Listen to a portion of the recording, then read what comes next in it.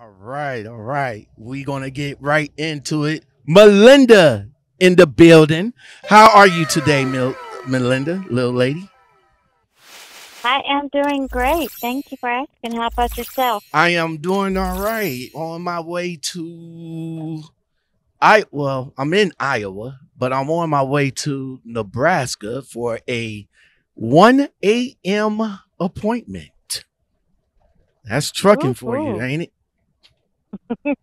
Yes, yes, it is. What- I got lucky. I made it to my stop early, but they're not going to take me till 7 a.m., so I get to sleep in, so. That's what's up. What what is what is the craziest appointment times that you that that you had in your trucking career?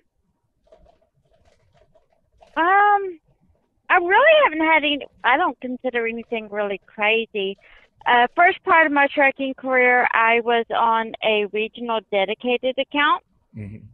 and I just came over to over the road uh, about four weeks ago uh, to spread my wings and learn a little bit more about trucking because I'm considering about becoming an owner op.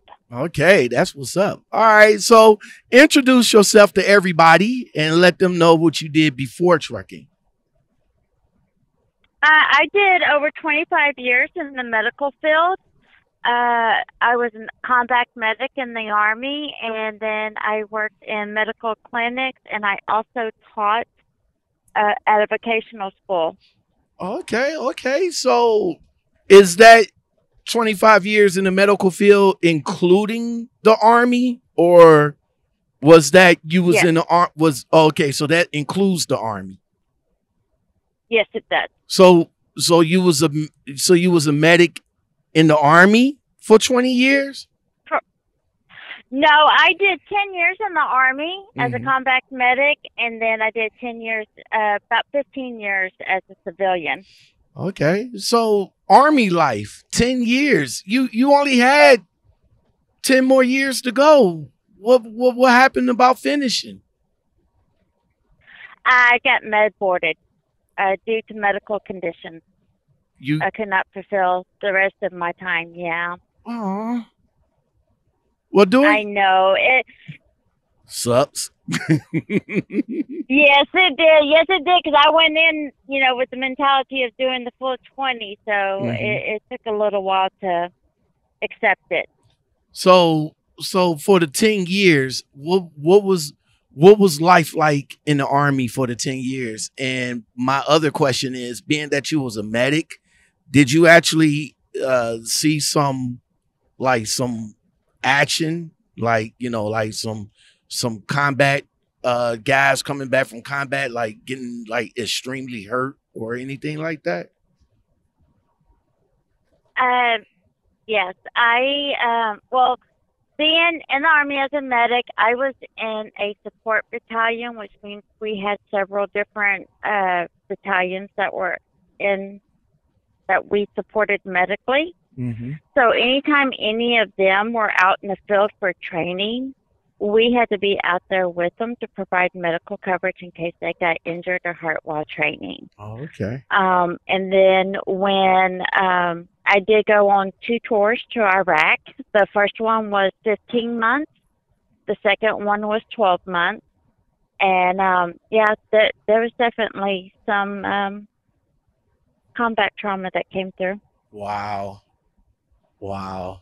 Um what was some what was some of the trauma if if if if you don't mind talking about it what what was some of the trauma that came that came through Um, gunshot wounds, um, e, uh, roadside bombs, explosions. Um, we had some local nationals that came through with um, injuries also, so it wasn't just uh, armed forces that we treated. We also treated local nationals. Um,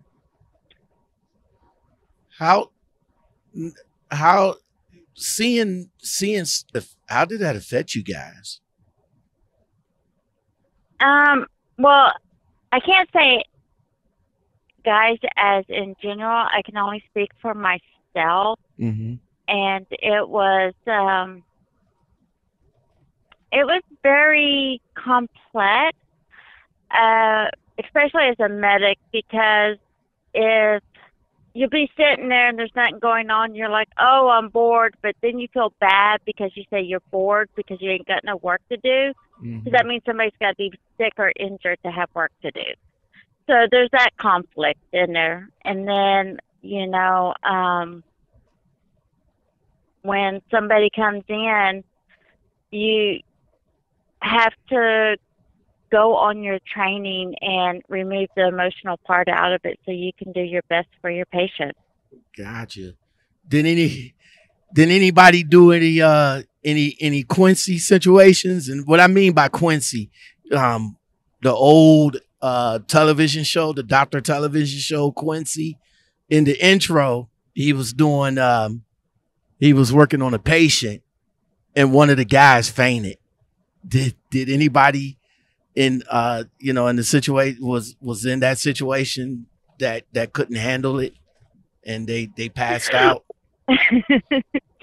well, um, as part of when we're deployed and stuff, we would uh, also go over to the Iraqi Army side of Mhm. the camp mm-hmm, and teach them combat life saving skills.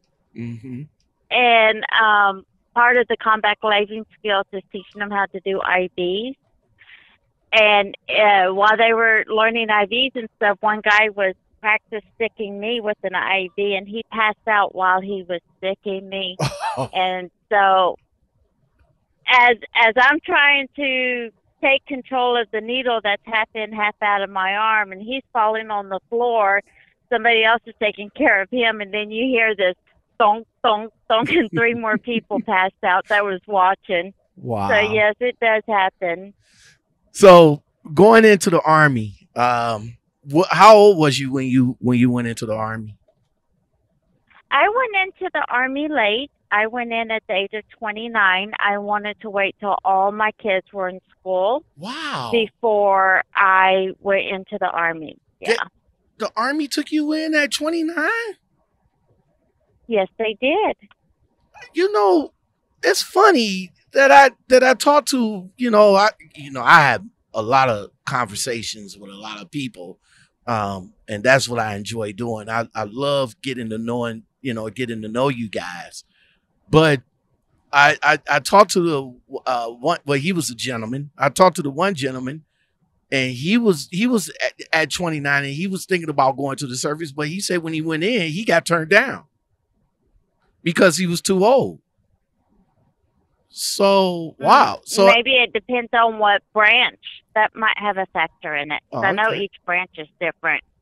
Okay. So you waited till your kids got older and everything. I, what was that conversation? what was that conversation like with the kids when you say, you know what?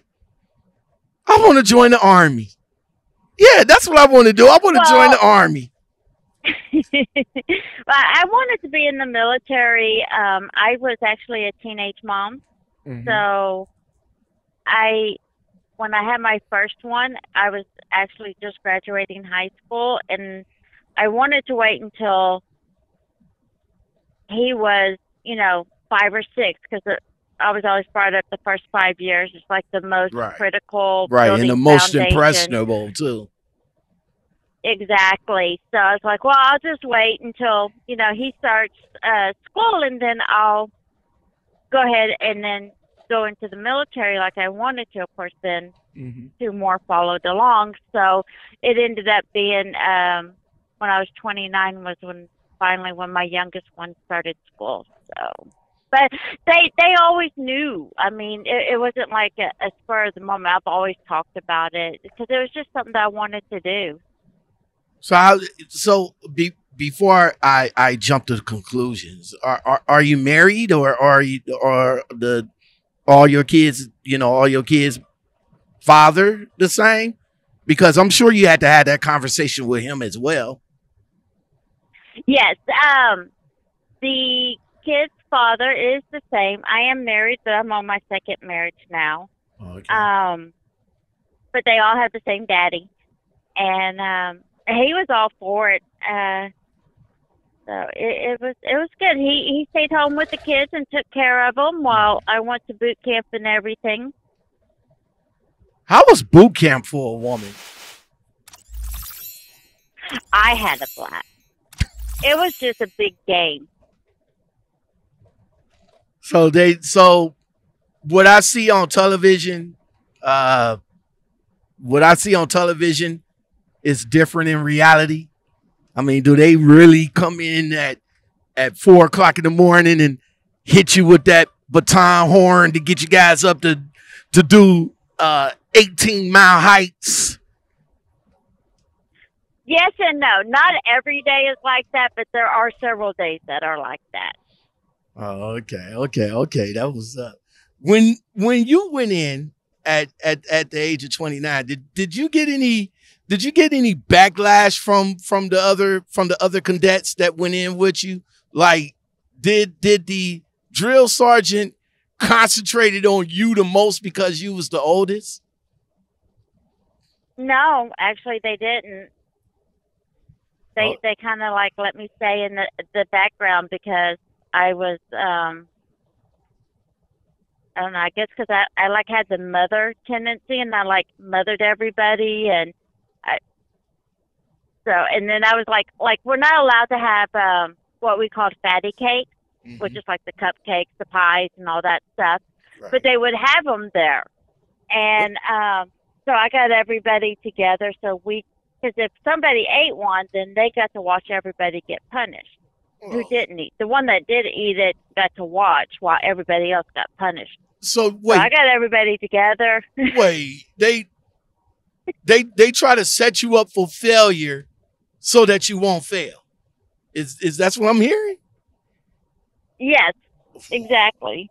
Wow. And you you was the one that knew that right off the rip. Like, yo, y'all, hey, hey, y'all, come here. Come here. Let me come here. Let me talk to you. Let me let me, let me talk to you.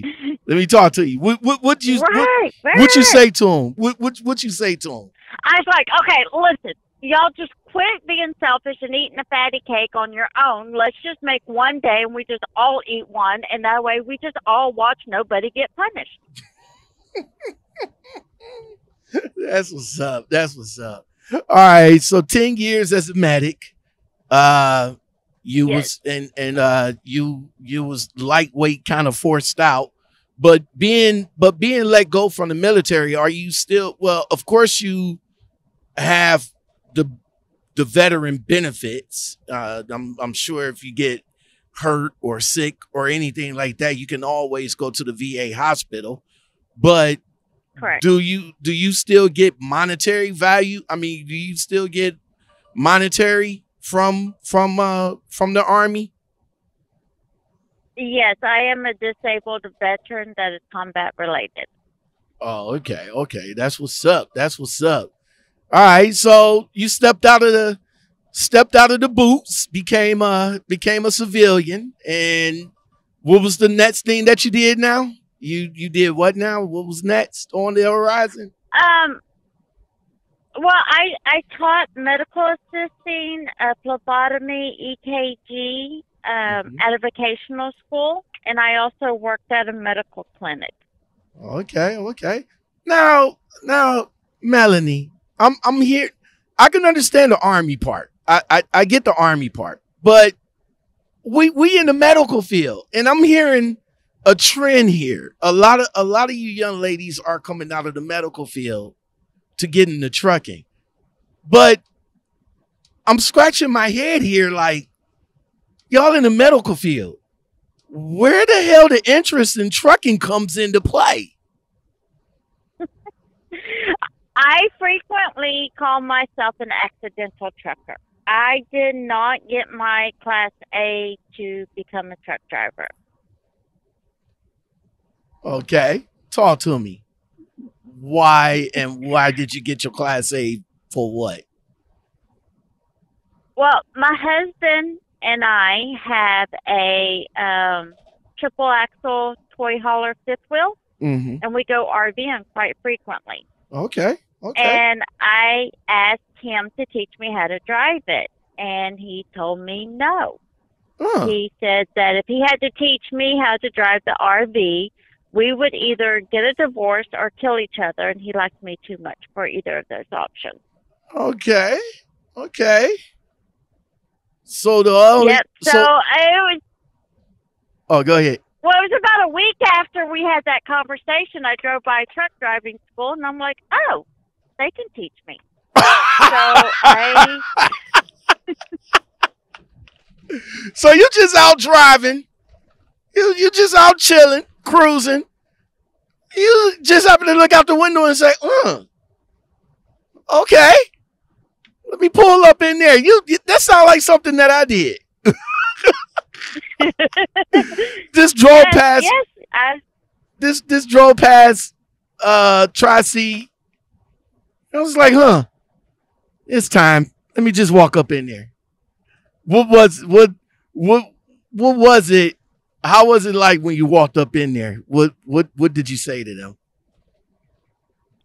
I just told them that um, I was interested in enrolling, not to become a truck driver, but to uh, learn how to drive our RV because my husband wouldn't teach me how to drive it.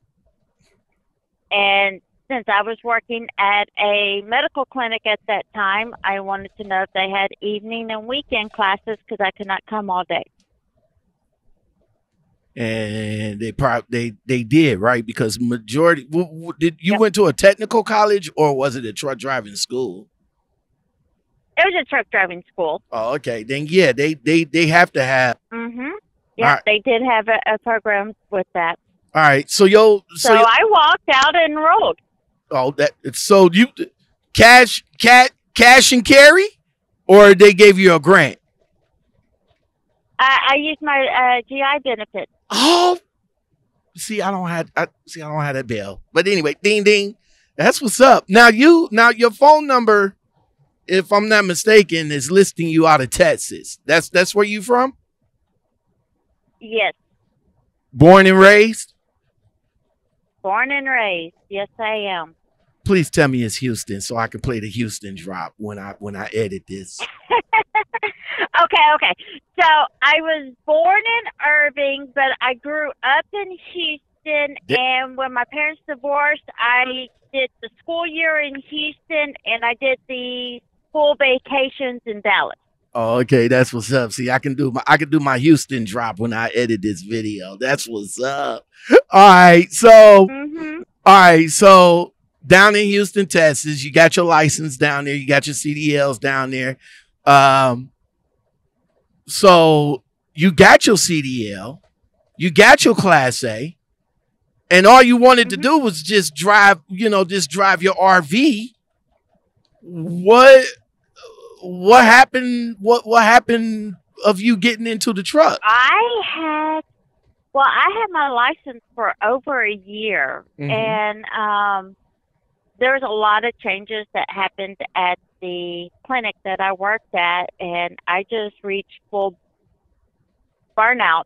And I looked at my husband, and I'm like, you know, I'm so tired of medical. I said, can I just drive for a couple of years and see what it's like? And um, he's like, yeah, but I want you to get something that you stay pretty close, you know, no more than a day's drive away. That way, if there's any emergencies or anything, I can come get you. Okay. And that's how I ended up being on the regional dedicated account. And I did that for two and a half years. Okay, that's what's up. That's what's up. You you you and your husband got a pretty good relationship that you guys could actually talk back. I mean, have a casual conversation of him understanding and understanding of what you're getting into trucking for, right? Yes, absolutely. Awesome, awesome. How long have you been a truck driver? I in see what month is this? November. So Mhm. in March will be three years. Three years. So you say you so the first so the first company you got with are is the first company you got with is the company that you with currently? No, when I switched to over the road, I switched companies. Oh, okay, okay. So the first company that you got with was uh was regional. What was what was the name of that company if you want to put it out there? Uh, that was Schneider National. Oh, okay. Then that's you, you also went through the training process with Schneider as well. Uh, I did a three week inexperience orientation. Oh, okay, okay. So your time, so your time with Schneider when you got there. Uh, what what division did you did you drive? Because Schneider got a lot of divisions. Correct. I was on the uh, Costco dedicated account for the regional run. All right, all right. So I did Texas, Oklahoma, Kansas, and Louisiana. And then while I was on the account, uh, they threw in Arkansas. Okay, and this is home every weekend. Yes. All right, all right. So you you, were Schneider. Uh, any any any incidents or issues with Schneider that you had with him, or was your or was your run with Schneider pretty good? Uh, it was amazing. Um, I actually stayed with the account longer than what I planned to, just because I had such a good rapport with um, my whole team, and um, I was a mentor for the account. So anytime experienced drivers came in on the account, they would drive with me, and I would show them how the account's run and everything. And um, I mean, in two and a half years, I got over probably about three hundred and eleven thousand miles in two and a half years on that account, and um, I really enjoyed it. Uh, it. But I knew I was getting stagnant, and I needed to grow as a driver, Mhm. and I knew I couldn't do it staying on that account.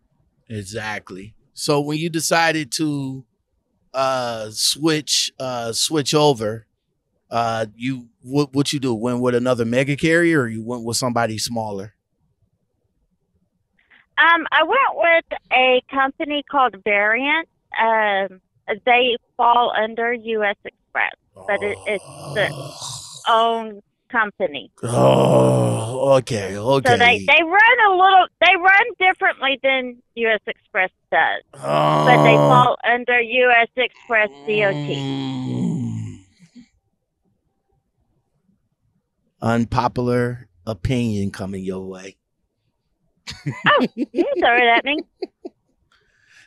I can Uh, catch your duck. It's okay.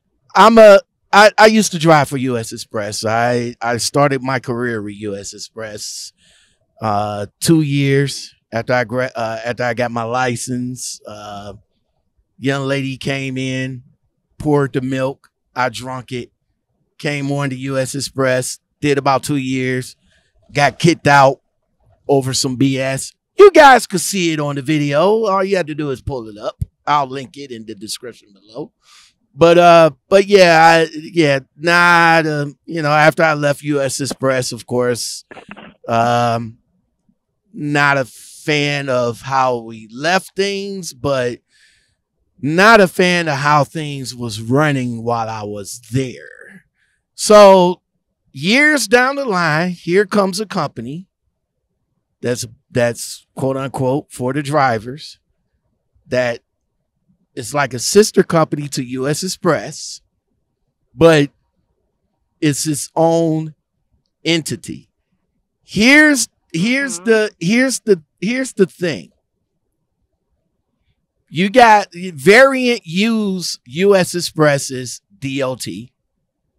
Variant use US Xpress's uh shops for if the trucks break down, of course hmm you gotta go, Mhm. you you you guys uh it, it, it, the payroll even though it says variant goes through us express U.S. Xpress. Yes.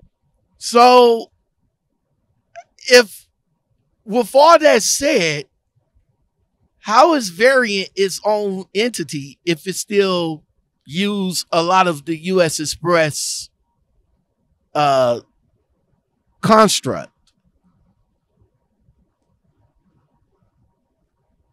It from what they explained explained it to me was that it's like a um it's in the same family but it's a little sister. So even though the little sister shares the same DNA and a lot of facets, it's still its own person. Okay, that's what's up. All right, so you decided to go. What what what brought you? What what what what brought you towards variant? Uh, was was it was uh was it like a Facebook post or another driver or you or you just just just I was researching different companies and there was just a couple of things that I really liked um, about what they put out. So I did more research into it, and that's why I ended up being with them. All right, that's what's up. That's what's up. That's driven with Variant and drive for them as well. What has Variant done for you per se? Like, would there? Even though I know you're going to, you know, going to give a lot of pros, but there got to be some cons with Variant as well. Not all companies. Oh is, yeah, I mean, you know, is perfect. oh, absolutely. Um, there is definitely been some hiccups, and it has not been all smooth sailing. But the facet or the experience that I personally have had with them is that there has not been any blame game. It's not oh, the customer this or the customer that, or, you know, our hands are tied, there's nothing we can do. It's more like, oh, yep, customer canceled. Let's go ahead and get you another load. Let's get you on the road. You know, it, it, they don't play the BS game. It's just like, oh, yep, that happened. What do we need to do now to fix it? Okay, that's what's up. That's what's up. Um, now being that you was like a two year driver coming in from Schneider, uh, was the amount of what you was getting at Schneider is it a little bit more now while you had variant or you or you had to take a pay cut to do what you wanted to do? No, um, actually with Schneider, for me to go from regional dedicated to go over the road, because that was the original plan was just to stay with Schneider. Mm-hmm. And, um, but to do the transfer in divisions, I was actually going to take a pay cut um, in the same company. And then this one actually paid uh, quite a bit more uh, than what I was making with Schneider. Okay, okay. So variant. Um, there's a lot of there's a lot of discussions on how you guys receive your uh your dispatches and everything. Uh, with this particular company, you guys don't have a dispatcher per se, right? Correct. So everything is pretty much automated. Um, what was said before that, you know, the planners and the and and the and the fleet managers they input the the stuff into the I, I, guess it's the IE that you guys call it. I'm not sure. I'm I'm not sure what exactly that you guys call it, but um, it's a it's it's it's it's an IE or something like that. But they input the um the uh information into the system and you guys do you guys choose like let's say once once it pops up and say hey uh load such and such such and such do you guys get to choose where y'all go or you or, or do y'all don't have no choice but to accept the the load that they that they sending you? It is forced dispatch, and for the most part, we do not have a choice. However, uh, if it is going to one of the five boroughs in New York, then we can refuse one of those. Oh, okay, yeah, we we, we no, we we not doing the boroughs, baby. we we not doing that. But I tell you what, they they love do let me ask you this because this is now this is US Xpress. They love keeping me in the Northeast, man. I mean, I I freaking can't stand it. That TS right there in uh Maryland. Uh forgot the damn what was that? It starts with an H. I, I don't know. Huntsville, Holcomb, Holcomb Polk, or whatever the fuck. Yeah, they they love keeping me up over there, man. Do do variant keep you guys up in the Northeast also? Oh, no. I have been with the company for a month now. In four weeks, I have driven 29 states. I have driven, oh, about over 14,500 miles. I have been as high as um, upstate New York, as low as Florida, and I've been to California. okay, okay. But you, you know, from the pictures that I've seen, and shout out to the She Trucking Trucking Group, by the way.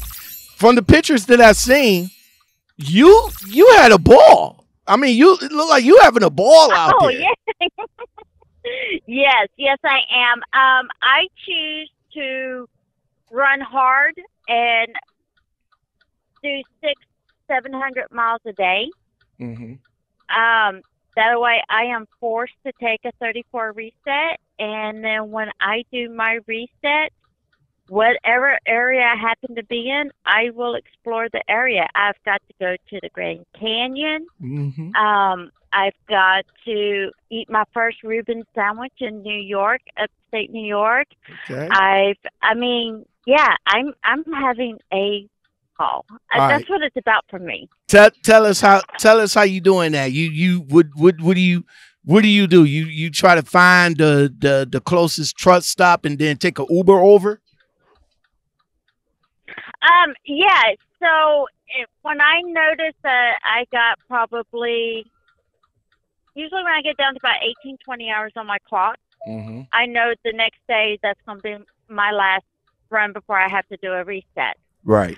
And then I just kind of do a little trip planning, see where I might end up and where I might want to try to end up at. And Sound like then, something that I do. um, yeah, so I try to find a truck stop that's close to a, uh car rental place, Mhm. or if not, then I'll use the Uber and um, just try to explore.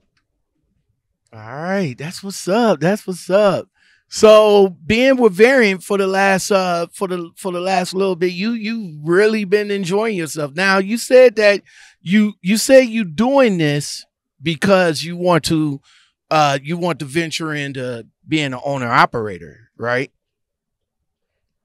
Right. So with me, all I knew before I got into over the road was just the the Costco dedicated, and I was like, you know, I really enjoy driving, but will I enjoy the real world instead of dedicated? And that's why I did this is to branch over before I fork down that much money, and then end up hating it. So I wanted to give this a trial run first. All right. So now that you're driving for Variant and you want to you you you you're exploring the the over the road aspect of it, which I think you're doing a very good job of. The next part of it is are are you are you thinking of going lease so that you can so that you can get your your feet wet more or are you feeling or are you feeling just jumping it jumping right in uh just jumping right into it Oh, I'll just jump right into it. Um, I'm looking at probably about six months with variant. mm-hmm. and then um, I should have, especially the way my this past month, um, I should have enough to uh, purchase a truck and um, just go in it. And while I'm driving with Barry for six months, I'll be doing a little bit more research on the process and everything of actually doing uh, owner op. all right that's what's up. That is what's up. Malinda again i am having a ball having a good time with you getting to know you and and getting to see uh everything that uh that that you're about. Thank you very much for giving me this opportunity uh to get uh to get to know you I'm like Beethoven with the bass on it. Mid class kids who went pop. Deaf to the hater won't stop. Let's talk key scales won't drop. You don't even need a scale to know I'm on top. Me and Mozart got bars, you got pops. Heard Red and Tiffany, a whole symphony. You a sim to me, but go off. Or make a masterpiece for you, or at least it's gon' hit like rump bum bum. Elephant to me like the symphony. Your career's done done done.